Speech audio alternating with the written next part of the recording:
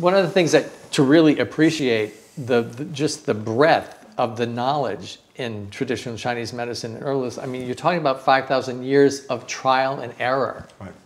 All right. And the great thing about the Chinese, they wrote it down. They wrote down their experiences. Those texts still exist. But like Roger was saying, they were really sensitive to what they were taking. Energetically, they could tell in the body where that herb was going mm-hmm. because they did that kind of energy work.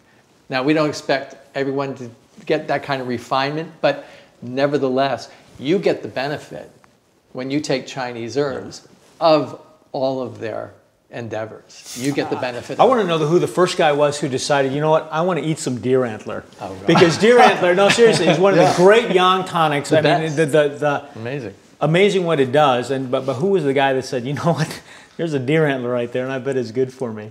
Well, you know, they were great observers of nature too. And if you look at most, um, most of what they call Tai Chi, it's all movements patterned after Animals. certain animals. Yeah. You know- Kung Fu's the same way. It's all patterned after. There's snake, deer, all these different. But if you think about deer antler, and they were so keen about observing nature, they knew that deer antler grew back every year. Yeah, the so they knew that Yeah. there was a regenerative aspect to what the substances in that antler. Yeah, antler. because the deer antler grow back And every they year. grew at the time of the year when their own sexual energy got stronger. in the, in the Yeah. springtime. So, so, so they don't actually harm the, the deer. oh yeah, no. The deer, the antlers harvested every year, the same deer.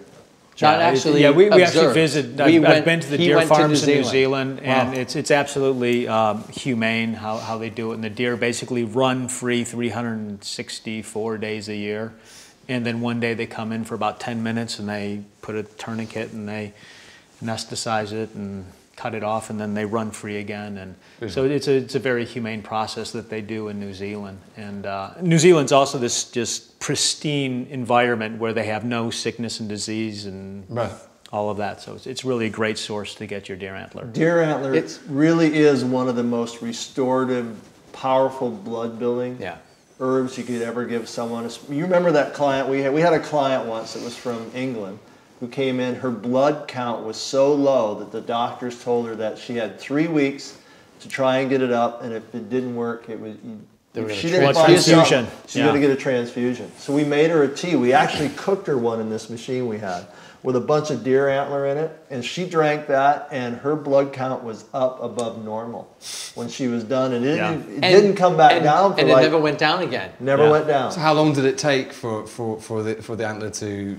to Well, we only gave her a month's worth of Months, tea. yeah. Oh, so one, one month. Yeah. One month's worth of tea. It's Yeah. a very powerful restorative. Yeah. When you're worn out, it's it's so rejuvenating. Especially too because it is so rejuvenating. It's one of the few things that builds bone marrow. Yeah. So if you have a broken bone bone or something like that, and you use deer antler, it mends really well.